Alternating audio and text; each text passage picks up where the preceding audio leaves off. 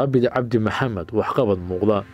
Lixdii bishii abril ayaa waxa ay ku beegneyd magacaabidii guddoomiye taabid cabdi maxamed waxaana uu ku jiray dalka xaalad bini'aadanimo. Muqdishona waxaa ku soo barakacay kumanaan dadweyne soomaaliyeed oo saameyn xooggan ay ku yeelatay abaartii loogu magacdaray siman. Xilka markii uu la wareegay waxaa u muuqday sidii loola tacaali lahaa xaaladda bini'aadanimo iyo gurmadka mudnaanta leh ee dadka tabaalaysan ay u baahnaayeen waxa uu isu taagay sidii dhabarka loogu ridan lahaa isku xirka dadweynaha soomaaliyeed si ay u gargaaraan dadkooda abaaruhu ay dhibka u geysteen. Tallaabooyinkaasi koowaad waxaa ka mid ahaa maamul wanaagga dib u habaynta shaqaalaha dawladda hoose ee xamar ballanqaadka iyo ka dhabaynta xuquuqda joogtada ee howlwadeennada gobolka banaadir marka hore saaka hawshiina uun ku maqnaa hadduu alla idin hawshiina ku soo maqnaa ilaahna waa noo soo fuudeeyey waxaan rabaa inaan idiin ballan qaado. Waxaa tihiin shaqaalihii dawladda hoose. Labada shay uu qofka u baahan yahay waa in la xurmeeyaa iyo xaqiisa inuu helaa. Xurmadii aa mudneedeenna waa helaysiin shaqada aa haysiin xaqa aa laheediinna waa helaysiin. Laakiin waxaa la rabaa dawladda xaqaa ku laheedeen waa ka soo shaqaynaynaa ballan waa waa helaysiin. Idinka xaqa laydinku lahaana waa laydinka rabaa dhammaystirka maamulkiisa ayaa waxay lahayd ahmiyad weyn. Markii ugu horraysay taariikhda maamulka gobolka banaadir hoggaanka sare ee maamulka waxaa lagu soo daray dumar soomaaliyeed taasi oo u arkayay taabid cabdi maxamed inay qayb muhiima ka qaadanayso daadejinta nidaamka maamulka iyo awoodsiinta haweenka.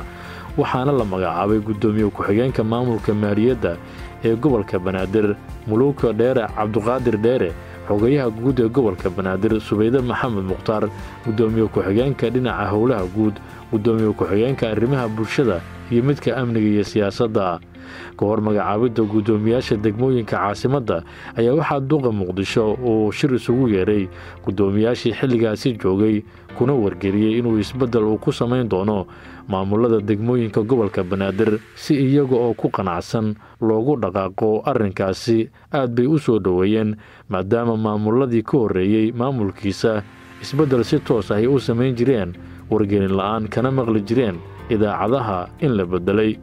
waxay ahayd aragti ku cusub maamul ahaan sida loogu soo bandhigay kadib ayaana si toos ahi loogu magacaabay guddoomiyaasha afar iyo toban degmo oo gobolka banaadir ka tirsan waxayna ahayd aragti ku cusub maamul ahaan sida loogu soo bandhigay kadib ayaana si toosa loo magacaabay guddoomiyaasha afar iyo toban degmo oo gobolka banaadir ka tirsan iyadoo aysan ka marnayn in dumar badani lagu soo daray maamulada degmooyinka gobolka banaadir tani waxa ay weji cusub u yeeshay siyaasadda maamulka gobolka banaadir. Dumarka runtii waa lafdhabarka wadanka oo loona baahan yahay qayb kasta oo dowladda ka mid ah inay ka qayb qaataan. Level kasta ay noqoto ilaa iyo hoos ilaa iyo kor inay ka muuqdaan. Go'aamada lagu gaarayo maxaa la dhahaa miisaska iyo horumarka iyo siyaasadda wadanka dumarka waa inay ku lahaadaan qayb lixaad leh marka taas waa sida runtii guddoomiye taabidna sida lagu yaqaan hadeer waa qof runtii aad iyo aad ugu dadaala kuna dhaqaaqa horumarka dumarka. Waxaa ka garan kartaa keliya adeegiisa iyo geesnimadiisa uu toddoba gabdhood maamulkiisa uu ku soo daray runtii. Asagana yani wuxuu mudan yahay ammaan in uu tilaabadaas qaatay sidoo kale maamulka gobolka banaadir waxyaabaha ay go'aanka adag ay ka qaateen amase ay si xulasho looga fekeray ay ku soo fekereen ma ahayn mabda-ooda markaan fiiriyey kaalintii dumarka keliya ha muuqato. Laakiinse dumarka waxay ku soo xelinayeen kartidooda iyo waxqabadkooda? Waxaana aaminsanaha dumarka soomaaliyeed markay noqoto in la xulanayo waxyaabaha lagu xulanayo inay karti noqoto. Gobolka banaadirna uu guddoomiyaha hogaaminaya taabid waxyaabaha uu sameeyey waxay tahay inuu fiiriyey yaa karti leh oo ka bixi kara shaqada aad rabtid iyo shaqada aad rabtid inaa u idmato shacabka soomaaliyeed in loo qabto. Arrintan waxay dhalinaysaa dumar badan gabdho yaryar oo iskuulaadka ku jiro in ay ogaadaan wadankan in ay ka noqon karaan waxa ay tahay hawadooda burburkii soomaaliya kadib maamulka gobolka banaadir ayaa waxa uu soo diyaariyey miisaaniyadda dowladda hoose ee muqdisho iyo gobolka banaadir iyadoo si daafuran loogu soo bandhigay hannaanka maamulka iyo miisaaniyadda dadweynaha public finance management waxaana dhinac socday barnaamijkii horumarinta dhaqaalaha dadweynaha ee gobolka banaadir oo ah mid casri ah oo elektarooniga. Waa markii ugu horreysay dambeeyey inuu gobolka banaadir uu yeesho miisaaniyad muuqata oo elektronic ah oo daah furan. Marka ujeedka ugu weynna waxa ay tahay in marka ugu horreysa waajibaadka ina saaran oo ah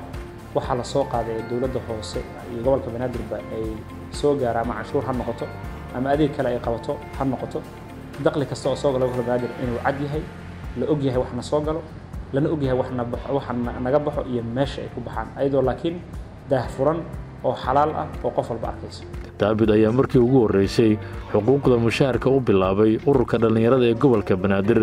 in muddo ah oo duruufo adag ay ku soo shaqeeyeen. Waxaa sharafa maanta in oo ka maamul ahaan aan maanta wixii ka dambeeya dhallinyarada ay noqon doonaan gaar ahaan guddoomiyayaasha ururada dhallinyarada ee degmooyinka gobolka banaadir toddobiyo tobankooda in ay mushaari noqonayaan insha allahu tacaala ay mushaar qaadanayaan. Maamulkan wuxuu u ballan qaaday in mushaarka si u dhaqsiyaha badan ku bilaabanayo. Aniga farxad weyn ayay ii tahay marka waa maalin weyn runtii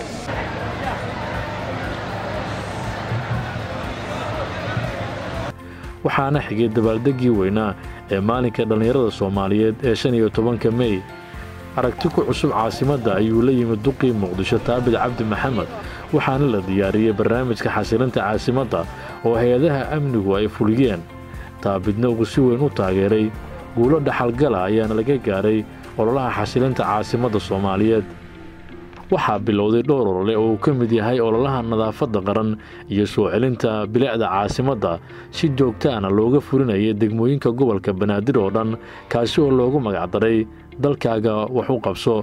Muwaadin walba ayay ka hor muuqanaysay dadaaladii lagu bixinayay waddada caanka ah ee kacaan oo ay bulshadu u taqaano cirtoogte taasi oo arrimo nadaafad darri ay u xidhnayd dhowr iyo labaatankii sano ee la soo dhaafay hase yeeshee hoggaanka taabit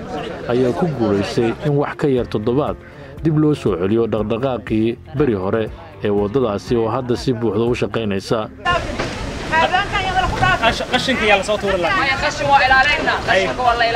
Si loo hiigsado awoodda kubcinta dhaqaalaha caasimadda waxaa sal u ahaa irgirinta kaabayaasha dhaqaalaha sida dhismaha waddooyinka muqdisho waxaa dib loo dhisay waddada soddonka waddooyin ka mid ah degmada kaaraan waddada jenaraal daa'uud waddada jenaraal kaahiye iyo waddooyin kale oo qaarkood bilow ku socday. Dardaarankii joogtada ahaa ee taabid cabdi maxamed muwaadin walba nooca uu doona ha ahaadee fadlan ilaali nadaafadda waddadaada oo ka mid ah hantida dadweynaha muqdishaawiyiinta ah marnaba ha oggolaanin qof ku xadgudbaya nadaafadda xudunta qaranka ee muqdisho waxa uu ahaa dardaaran laba ilaawaan ah marka wax aad bixisay oo lagugu soo celiyey ee lagugu dayactiray waajibka ugu horreeya ee ku saaran waa inaad ilaalisaa ama aad nala ilaalisaa oo guud ahaan u wada ilaalinaa. Hay'adaha amniga ayaga sidoodana sidoo kale hay'adaha amniga waxaa halkan ugu dirayaa hay'adaha amniga idinkoo aad iyo aad u mahadsan amnigana ku dadaalaysaan bilicda magaalada waxaa ka mid ah waddooyinka aanan jaqafyo la dhex dhigin ama aan dhagaxya la dhex dhigin ayadoo waddada la dhiso qurux badan haddii amniga la ilaalinaya si qurux badan amniga iyo waxyaabaha loogu talagalay ee joogsiga ama tabeelooyinka loogu talagalay in lagu diyaariyo oo aan waddada layska dhex dhigin waxyaaba bilicda baabi'inaya taabid cabdi maxamed ayaa dadweynaha soomaaliyeed waxa uu u ballanqaaday inaysan jiri doonin cadaalad darro ku aadan dhinaca dhulalka danta guud iyo kuwa dadweynaha ee gobolka banaadir. Ummadda soomaaliyeed cadaalad darro ayaa ragaadisay muddo fara badan gaar ahaan arrimaha dhulka. Aniguna inta aan joogo ma dhacayso mana qaadanayo mana yeelayo inay cadaalad ka dhacdo arrimaha dhulka. Qof kastoo dhulka haystana maalintay doontaba waa uga daba tegaynaa ilahay idinkiisa insha allah. Toddobaadka xorriyadda qaranka ayaa si weyn looga xusay muqdisho. Markii ugu horraysay ayaana lagu maamuusay si ka duwan hababkii hore. Aqalka dowladda hoose ee muqdishona tilmaamaha xuska xorriyadda ayuu noqday. Magaalada muqdisho ayaa martigelisay qaadista imtixaanaadka midaysan ee dowladda duqa muqdisho taabid cabdi maxamed ayaa dhiirigelin iyo ballanqaadyo u sameeyey ardaydii ka qayb gashay imtixaanadaasi waxaana uu mid mid u booqday goobihii lagu qaadayay imtixaanka taasi oo kulmisay kumanaan ardaya oo ka kala timid gobollada dalka.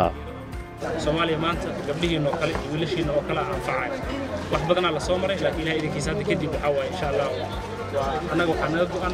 markaa wax barataan fursaddiin waxbarashada inaan ballaarino oo waxbarasho heer jaamacadeed hooda wanaagsan la gaaro shaqana in la helo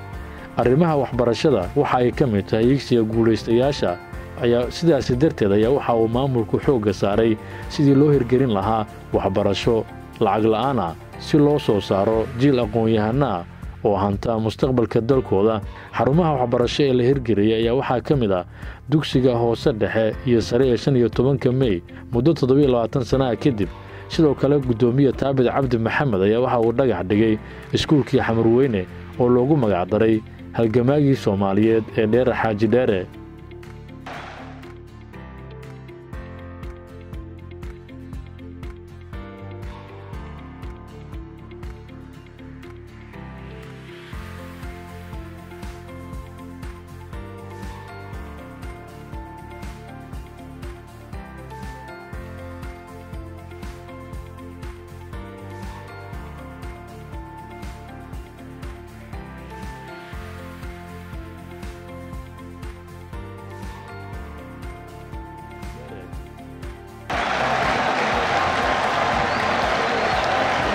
muddadii boqolka maalmood ahayd ee ugu horraysay ayaa waxaa la qabtay tartanka kubadda cagta ee degmooyinka gobolka banaadir oo xiise gaara lahaa xilligaasi.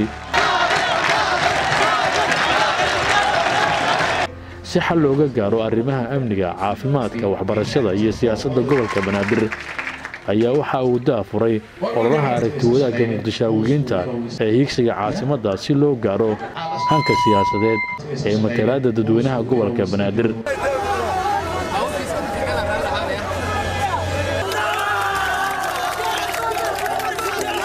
duqii muqdisho ayaa waxa uu mar walba ka jawaabayey cabashooyinka dadka uu matalo toddobadii bishii agosto sannadkii laba kun toddobiyo tobankii ayaa qaybo badan oo ka mida waddooyinka caasimadda waxaa hareeyey dibadbax xooggan oo ay dhigayeen darawallada gaadiidka tugtugga ama bajaajka. Laakiin wax ka yar nus saac ayuu guddoomiya taabid ku gaaray goobaha kuna xalliyey cabashadii ay qabeen. Qof kastoo idinka mida ee gaadiidka wato mootobajaajta wato inuu horta degmada iska diiwaangeliyo magaciisa geeyo taargadiisa geeyo dhib kasta oo loo geysta si loola socdo. Waddooyinka oo la yidhi ma mari kartaan wadda waa isticmaali karaan waddooyinka waa mari kartaan.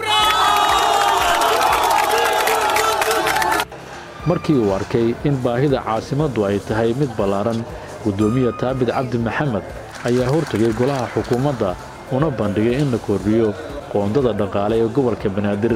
si loo dardargeliyo u adeegidda bulshada haddana waxaan si xushmad leh uga codsanayaa golahan wasiirada ee qadarinta mudan wada shaqayn lagu garab istaagayo dhammaystirka geedi socodka dib u soo noolaynta dib u dhisidda dib u casriyeynta iyo horumarinta muqdisho.